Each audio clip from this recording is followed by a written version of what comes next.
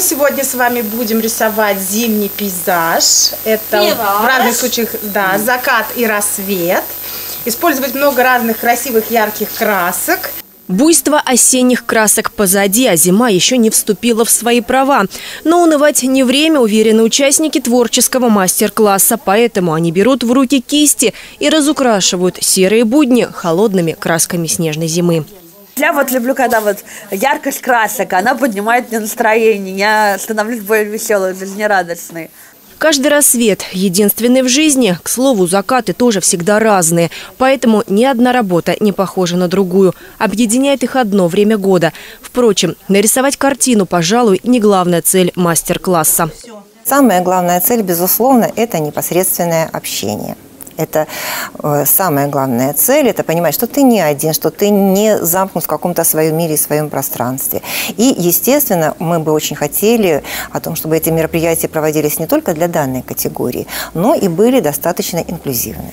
Анастасия Макарова уверена, рисовать красками романтично. Занимается в клубе «Изумрудный город» уже второй год. Сначала предложение поучаствовать в мастер-классе не вызвало у нее восторга.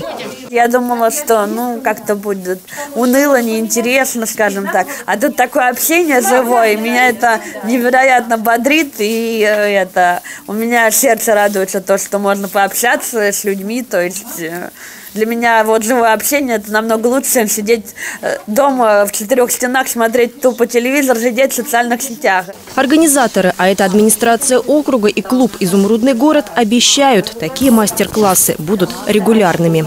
В Одинцовском городском округе сейчас проживают более 16 тысяч людей с инвалидностью, в том числе около 900 детей. И в течение месяца, в преддверии этого события, будут проходить различные мероприятия для наших ребят и взрослых, которые ограничены в своих возможностях. Это и спортивные мероприятия, и творческие, как сегодня. Мастер-классы в течение месячника осведомленности о проблематике инвалидности будут проходить в муниципалитете в разных форматах, в том числе онлайн. Евгения Августина, Артем Ломоносов, телекомпания «Одинцова».